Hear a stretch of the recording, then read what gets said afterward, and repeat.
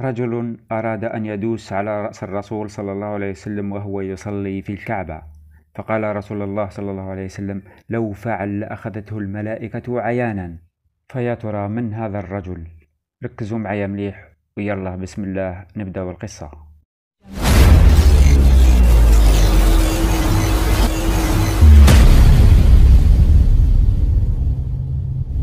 هذه القصة حدثت في عهد النبي محمد صلى الله عليه وسلم مع أبو جهل عند الكعبة ونزلت الآية الكريمة في سورة العلق.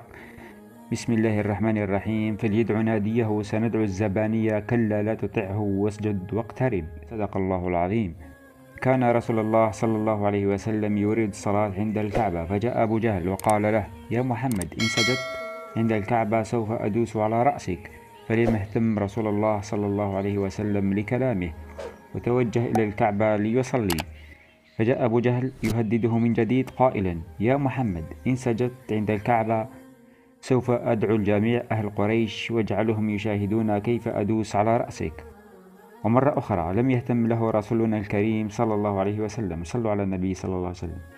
واقترب منه لينفذ تهديده. ولكن فجأة وقف صامتا ساكنا بلا حركة ثم بدأ بالتراجع. تعجب أهل قريش من فعله وسألوه يا أبا جهل ها هو محمد ساجد وأنت لم تدس على رأسه فلماذا تراجعت؟ فرد أبو جهل قائلا لو رأيتم ما رأيت أنا لبكيتم دما. فقال الناس وماذا رأيت أبا جهل؟ قال اسمعوا جيدا رأيت أن بيني وبينه خندقا من نار وأهوالا. لا حول ولا قوة إلا بالله.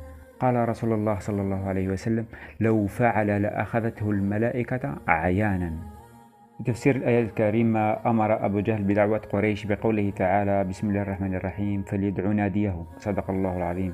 فرد عليه رب العالمين إذا جمعت أهل قريش فسوف أجمع ملائكة العذاب ليمنعوك بقوله تعالى.